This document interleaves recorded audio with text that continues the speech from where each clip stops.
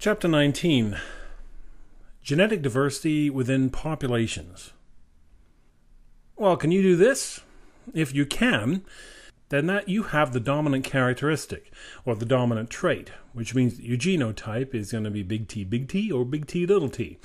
If you can't, then you're little t, little t.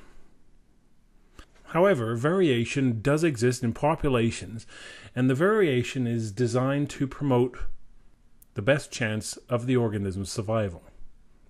Darwin didn't know how variations are passed on from one generation to the next. It was Mendel that established a link between sexual reproduction and genetic variation. And variation exists in metabolism, a capacity, for example, to live in harsh environments, to be able to digest certain foods and drinks, for example, alcohol dehydrogenase is not really a naturally occurring enzyme, but has been variation that exists more commonly in societies that have alcohol. Societies that have never seen alcohol means the capacity for that enzyme to exist is significantly reduced. Variation exists in fertility. Some organisms will produce certain number of offspring to, to increase their chance of passing on their offspring from one generation to the next. Other organisms, such as flies, for example, or fish, will produce more offspring in order to make the transition to adulthood where they can continue to propagate their species. Variation exists in reproductive method. Whichever system seems to work best for that organism is the one that's used over and over. And variation exists in behavior. An organism is going to behave in a certain way to attract a mate that is going to produce the best chance of that organism's survival, even though some of the behavioral characteristics do vary. Certain genotypes are better equipped for survival, and it's these genes that are transmitted to offspring during sexual reproduction. The gene frequency, or more correctly, the gene allele frequency within a population will increase if the resulting phenotype enhances the organism's fitness. By fitness, I mean their capacity to survive, their reproductive success, and their ability to compete within a population. A gene pool is all of the alleles occurring in a population. Some populations contain some alleles that exist in higher numbers than in other populations.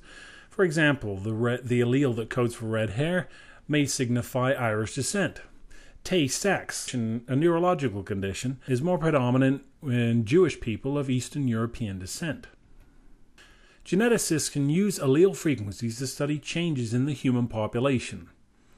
Population tends to be characterized by a couple of competing factors the tendency to want to remain stable, so, in order to keep the population in a state of balance or equilibrium. And then the tendency toward variability, the capacity to change, as we discovered in the previous chapter, or evolve. The basic principle of population genetics was derived in 1908 independently by two individuals who came about a mathematical equation to describe population at equilibrium that has since been called the Hardy Weinberg principle. Basically, it goes along the idea like this if all other factors remain constant, the gene pool will have the same composition of alleles generation after generation. This stability is called genetic equilibrium, and only if that equilibrium is upset can a population evolve. Let's talk about the Hardy Weinberg equation itself. The frequency of one of two alleles in a population is expressed as a number between 0 and 1. 0 represents the allele not present in the population, and 1 says that the allele is present in all members of the population. So, for example, if an allele for dark fur is present in 70% of the population, the gene frequency for this allele is 0.7. It's important to note, however, that if the dark fur is dominant, 70% of the population are going to have the dominant allele, and this means that that 70% population is going to be divided into homozygous dominant and heterozygous. 30% of the population having the recessive allele will mean that the recessive allele is going to be divided into those individuals having homozygous recessive and the heterozygous. So not all 30% are going to be showing the recessive phenotype. The Hardy-Weinberg equilibrium is this, p squared plus 2pq plus q, q squared equals 1, and you get this equation given to you in your data sheet for the exam. Same with this one, p plus q equals 1. Now, P represents the frequency of allele D. Let's say, for example, allele D represents the dominant allele in a dominant recessive combination. We're not going to assume multiple alleles here. Q represents the frequency of the recessive allele. So when you're talking about P plus Q equals 1, you're talking about the alleles at gene D are made entirely of the dominant allele and the recessive allele. You add up all the dominant alleles and you add up all the recessive alleles, and you have all the alleles for that gene in the population. That's the P plus Q equals 1. P squared is the frequency of the homozygous dominant, DD. So if the frequency of the allele big D is squared to give us big D, big D genotype, then that's going to give us the P squared in our Hardy-Weinberg equilibrium equation. The 2pq is the frequency of the heterozygous genotype. Why 2pq? Well, the big D from the heterozygous genotype could have come from dad, and the little d could have come from mom, whereas the other heterozygous genotype says the big D could have come from mom and the little d from dad. So there's two heterozygous genotypes. Remember the Punnett square? And q squared is the frequency of the homozygous recessive genotype, little d, little d, p squared for the same reason we have q squared. When you look at the Hardy-Weinberg equilibrium equation, the p squared 2pq plus q squared means of all the genotypic combinations in a population at the D gene, we're going to have some that are homozygous dominant, some that are homozygous recessive, and some that are heterozygous. We're not going to have any other combinations. So when you add them all together, they equal 100% of the population's genotype at gene D. Now, the Hardy-Weinberg equation only works under certain conditions. We call this a population of ideally reproducing, sexually reproducing organisms that are not evolving. You must come under these five positions, and it's important to remember these five conditions. First condition is the population has to be large. This reduces the element of chance. There's no genetic drift or random changes that occur in a small population. If you only have a small population, say of 10 individuals, and two of them just randomly happen to be struck by lightning and killed off, then that significantly affects the allele distribution in that population.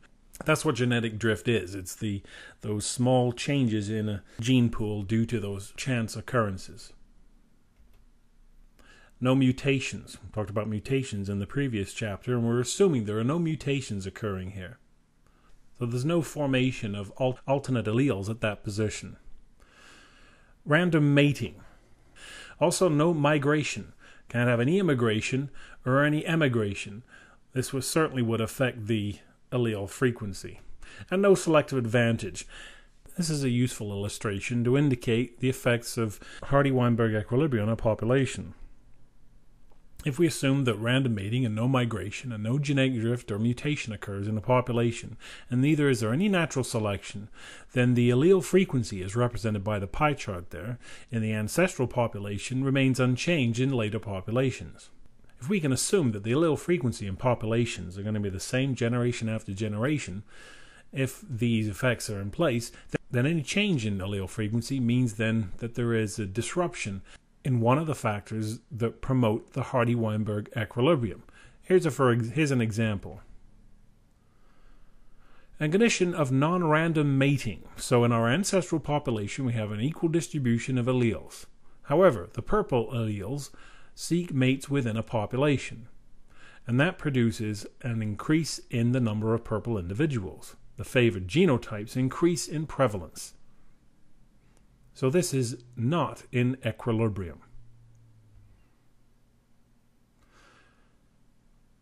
On the left, we, in, we show what the ancestral population looks like when we have an equal distribution of alleles. However, the pink and the purples decide to leave the population, and what happens is is that we have the incidence of those alleles not only becoming rarer, but also the other alleles become more predominant. A mutation occurs. In this case, some individuals, instead of having the green allele, it becomes the yellow allele. So the green allele starts reducing in later populations in favor of the yellow allele.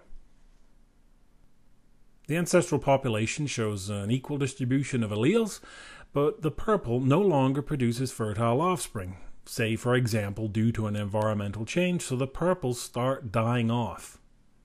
And the green and the light blue instead start becoming more prevalent. Here's a couple of notes on genetic drift changes in the gene pool of a small population due to chance. Chance events play a major role in the microevolution of populations having less than 100 individuals. A couple of situations that occur to most likely cause genetic drift are two conditions that uh, your book talks about the founder effect and the bottleneck effect. The founder effect is typical of some populations that branch away from an, a European uh, larger population and start setting up their own colony. What happens is, is there are, the individuals that leave don't represent the full array of allelic diversity in the major population. And so when they set up their own population, we'll find that it's predominantly those alleles that started up the population. In other words, the new population doesn't have the genetic richness of the ancestral population. Well, the problem is, is that in the, an ancestral population, because of the allelic diversity, we might find that certain genetic conditions are particularly rare. Whereas, if these genetic conditions happen to be a part of the allele distribution in the new population, then once rare conditions are going to become more prevalent. And the bottleneck effect. The allele distribution of years ago is quite diversified. But if you're going to hunt an animal to near extinction, it's going to be to those, up to those cheetahs to repopulate the species. The allelic richness that made up the ancestral population is gone permanently.